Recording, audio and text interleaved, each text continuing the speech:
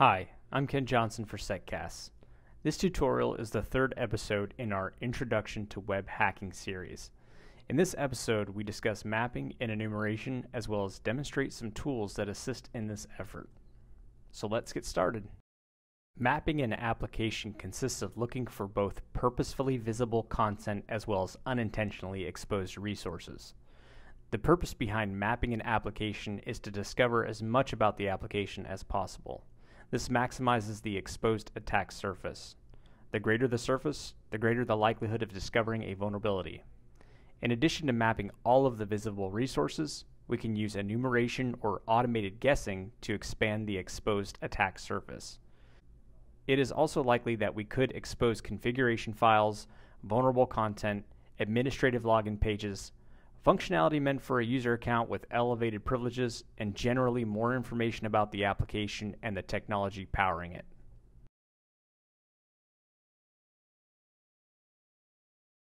The website you are looking at is ran by Hackers for Charity and contains a Google hacking database. This is a list of juicy queries that you can make to Google in order to discover information such as usernames and passwords, configuration files, etc. The important thing to know is that search engines such as Google make your life as an attacker a lot easier by documenting and archiving resources that an application had made available.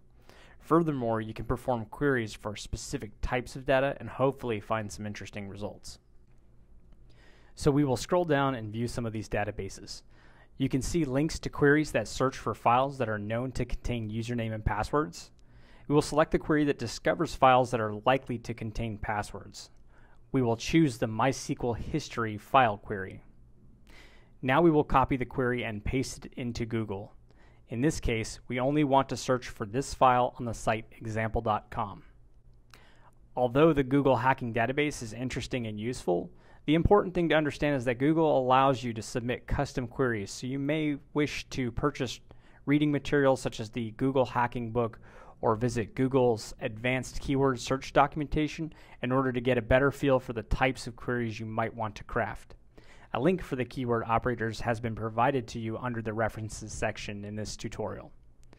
Some other query keywords that are useful are in text, which allows you to search pages that contain these words only. File type provides resources that match only the specified file type you have entered, in this case, CSV. Hyphen site allows you to exclude certain sites from your search, helpful if you would like to restrict certain subdomains from showing up in your query. For example, we see this checkproxylist.com site in our search results. We will exclude it by entering hyphen site colon checkedproxylist.com, and now you can see it does not show up in our search results.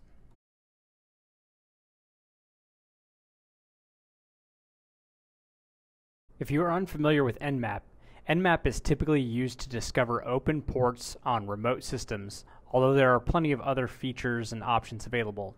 So much so that it would not make sense to discuss all of them in this video as there are already so many videos, tutorials, blog posts, documentation, and other resources to assist you in learning more.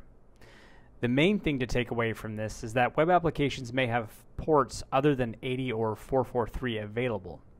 I've discovered Tomcat manager interfaces, Oracle administrative pages, and just generally dangerous resources on ports other than 80 or 443 that would have gone undetected without a port scan.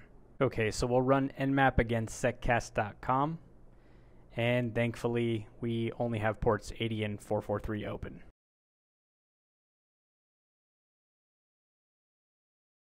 Burp Suite Intruder allows us to automate sending a large number of requests. We do this by first capturing a request we've initiated through our browser and then send that request to the intruder portion of Burp. Once at the intruder tab, we have the option of matching and replacing certain pieces of that request each time intruder kicks off an attack or request. There are a plethora of options and functionality within Intruder and Burp as a whole, but in this case, we only want to enumerate files that may exist on the remote server or application. The first thing we will do is capture our request and send it to Intruder. Once at the Intruder tab, we will remove the default insertion points Intruder has added and instead add an arbitrary value after the forward slash in the path portion of the HTTP request. In this instance, the arbitrary value will be the number 1. The next thing we must do is select our word list. Each time a request or attack is sent, Intruder will replace the number 1 with the next value in the word list. You can see we have about 25,000 requests to send using the SVN Digger word list. To reiterate, this is really us automating the process of guessing file names that might exist on the web application or server. Since I know this is safe and to speed things up, I'll select a thread count of 25, which basically means 25 requests can be sent in parallel at one time. We will sort the responses from the application by each request's response code. A 200 HTTP response code can indicate the presence of the resource intruder has requested. So it appears the file named log exists on the remote application. Note that in the response, we can see the application's log file, and there are a few interesting details provided to us here. The first is that we can see both the libraries the application is using as well as their version numbers through the logged application error or stack trace. This allows us to perform some research on the libraries the application is using and determine if vulnerabilities exist for them and their specific versions. Additionally, you can see the location of an administrative resource has been provided to us. Again, this effort provides us with a broader attack surface or potential avenue for exploitation.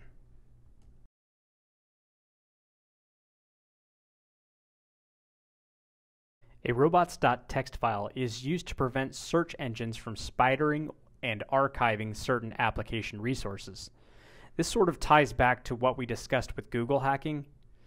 So, most sites have a robots.txt. This in and of itself is not a vulnerability. However, this file can contain additional resources that we are not supposed to see or request, so it is considered a fundamental or basic check that we should perform in every assessment.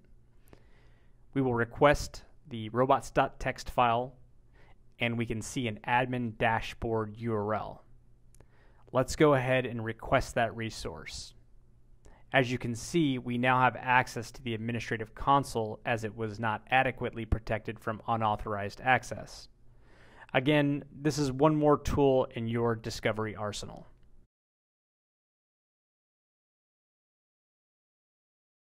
An application spider effectively searches an application for all links or references to individual application resources. It requests those resources, then searches those pages for links, so on and so forth. Think of it as a recursive search function. This allows us to build a sitemap so that we can broaden our attack surface and make sure we are assessing as much of the application as possible. The first thing I will do is verify our browser is sending requests to Burp using Foxy Proxy. We will then navigate to the Spider tab within Burp. And let's choose the Options tab. Burp Spider will submit data to forms if you allow it to do so. This way, even more content is discovered as it attempts to automate using the application much like a human would. I will tell the spider not to prompt for guidance or automatically submit forms for the purpose of this tutorial. Additionally, I will disallow the automatic submission of credentials to any login forms. And I'll bump the thread count up to 20. The sitemap you see is pre-spider. Now let's go back to the spider tab and kick off the spider. Now that the spider is running, let's view the sitemap. You can see that as more resources are discovered, our sitemap grows, effectively broadening the attack surface. So to recap, we've learned the purpose of mapping, we've demonstrated Google hacking, using Nmap, using Burp Suite Intruder with the SVN Digger word list, checking robots.txt, and spidering an application. I'm Ken Johnson. This has been another episode of SecCast. Thanks for watching.